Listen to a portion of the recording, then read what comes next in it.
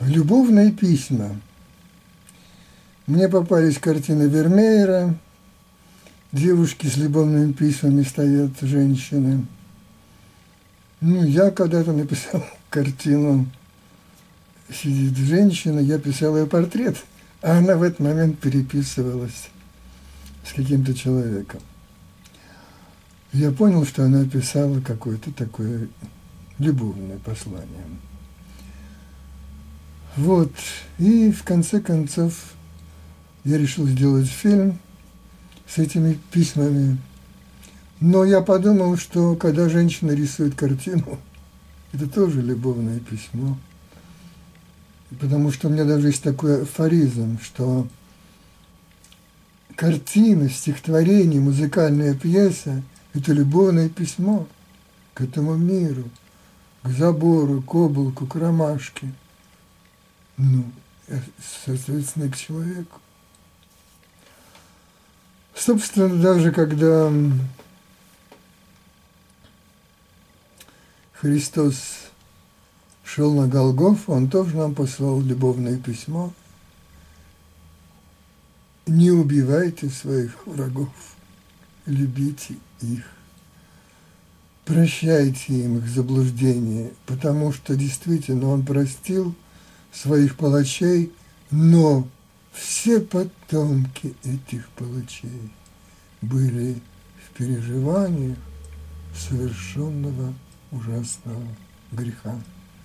А если бы он убил, потомки да, послали бы ему проклятие вместо, вместо сожаления сделанного ужаса. Ну вот, ну не будем отвлекаться. Так начинаем с Вермеера. У меня по этому поводу даже было написаны какие-то комментарии, которые называются «Психологизм Вермеера потрясает». Вообще Вермеер меня немножко раздражал всегда своей фотографичностью, но настолько все пронизано милым разглядыванием человека, что ему прощаешь это все, и я его возвел в кинорежиссеры с глубокой душой, с глубоким мышлением. Ну вот, читаю это эссе. Так выстроены композиции, что всякая деталь усиливает впечатление. Лютня в глазах, лютня в руках заглушает тоску девушки о любви или распаляет наоборот. Служанка подшучивает, пытаясь снять страх – у барышни перед любовью. Щетка для подметания пола говорит, что любовь любовью, но запустение опасно для дома. Свет вычерчивает фигуры не ради мастерства рисовальщика, а ради внесения стабильного настроения в сомневающуюся сцену от переживаний героини. Ноты скомканные говорят о нетерпении. Так. Что-то мышка моя перестала работать.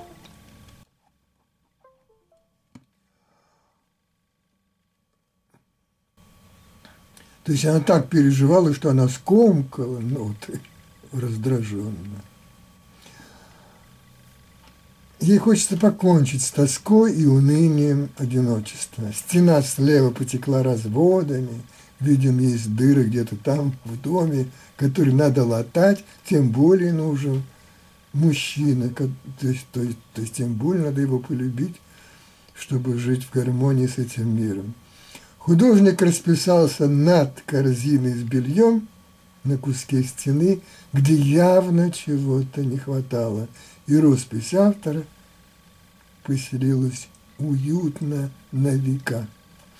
Картина бесконечна для разглядывания и ощущения зрителям авторских взглядов на мир. Ниже есть еще психологическая картинка, как подслушивает девица разговор, вероятно, о ней – но только одна фигура интересная, девица, остальное понятно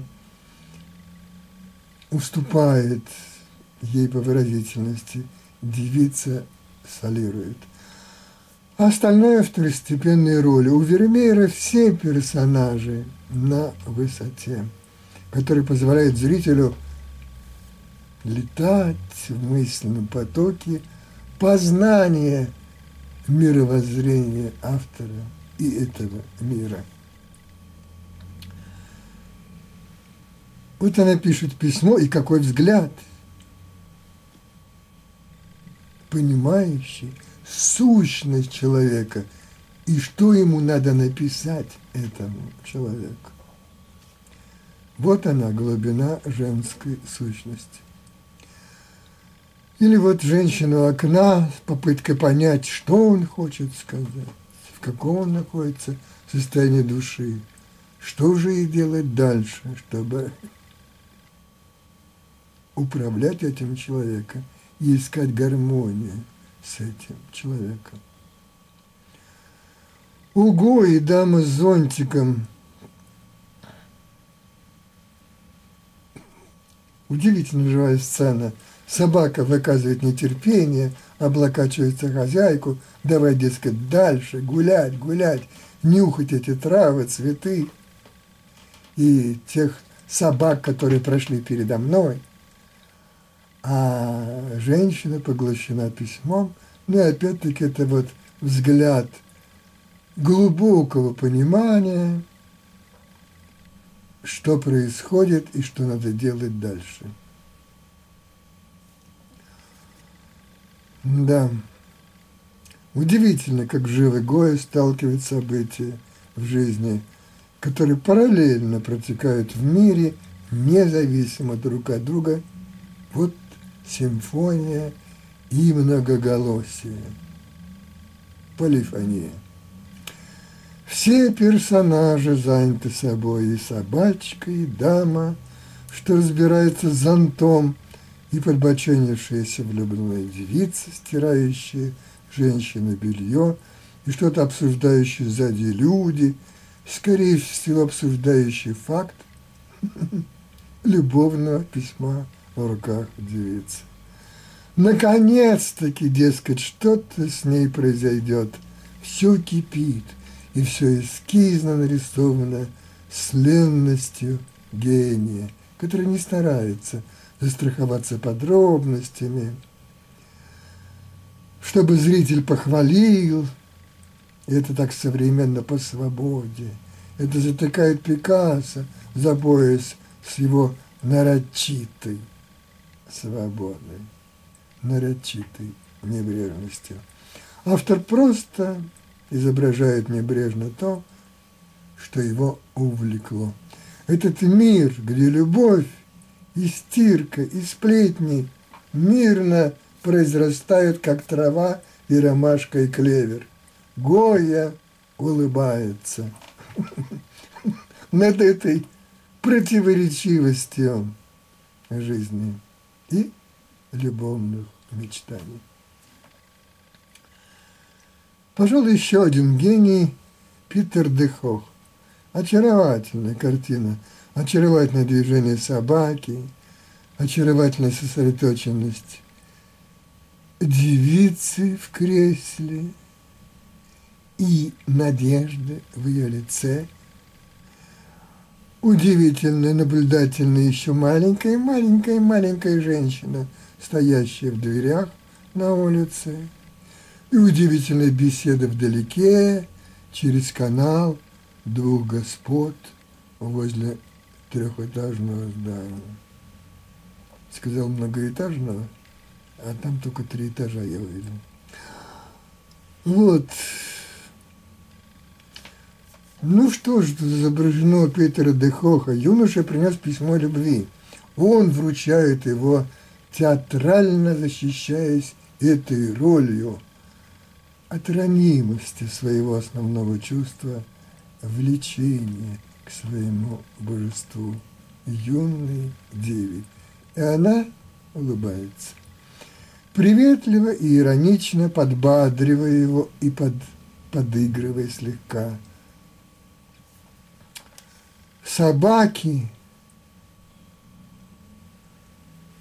обе, не знаю, кто обе, тут собака с девушкой обе, что ли. Я давно писал эссе, уже не помню в смысле своем. В скобках написано, что совсем удивительно. То есть живо участвует в этой сцене, они изучают предмет милости своей госпожи. С удивлением и завистью, какое тонкое проникновение художника во все персонажи. Я поторопился объявить два гения, но, скрипя сердце, добавляет Питера Дехоха. Ну, почему скрипя? Да просто мало знает этого художника, одну единственную картину.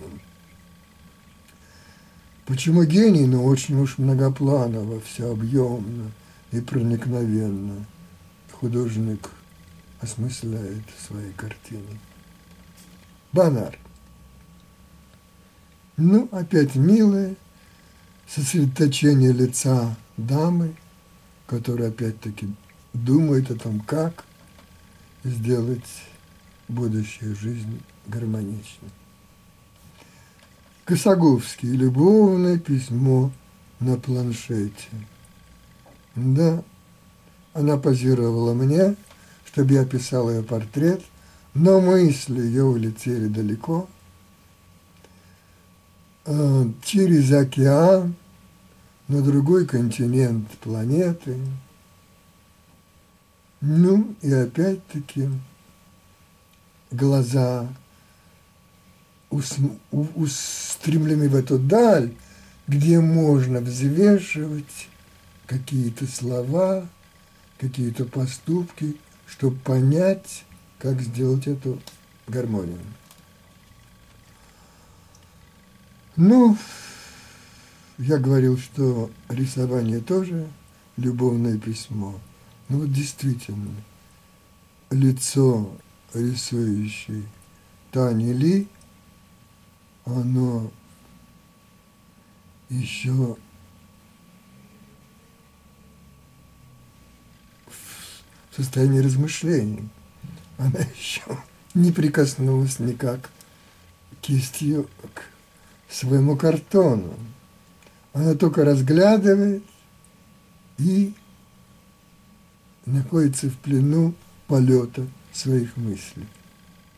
То есть вначале идет душевное процесс, душевный процесс этого любовного очарования мира, в котором мы живем.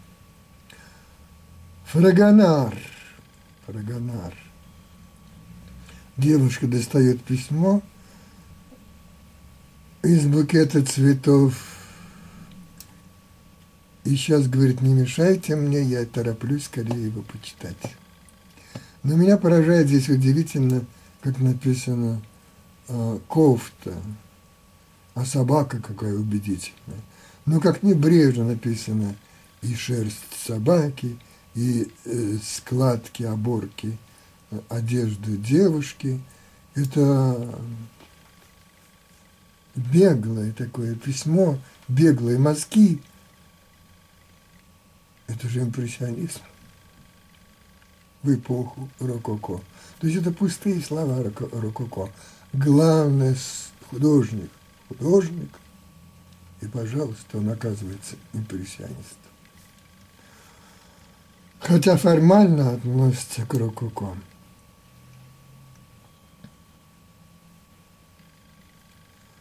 Я приготовил еще несколько картин – но прокомментируя и их. Прокомментируя их.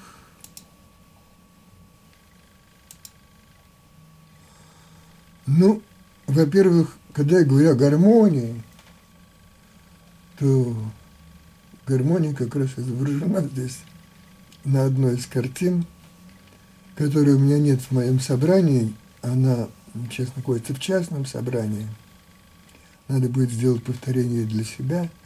Среди звезд идет мужчина, и он тянет платформу на колесах, на которой находится его жена, его дети, две девочки, окно, в которое смотрится эта женщина, а может это не окно, а трюмо с зеркалами, и шкаф, в котором висят э, одежды этой, этой семьи, и произрастает дерево, ну, будем считать, что дерево – символ жизни, и на все взирает солнце. Вот она, эта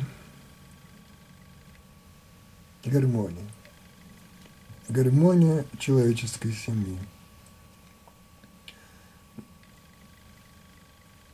Э, тут еще картина, как Таня рисует с поэтом, Таня Ли рисует с поэтом Михаилом Васильевым. И опять-таки оба сосредоточенно устремлены на свои холсты, но по, по движению их голов, по движению их рук видно, что это устремление души. Устремление души пронизано любовью к этому миру, который они собираются изображать. Точно так же и две картины рисует Елена Мацкевич. Какая сосредоточенность в лице, какое э,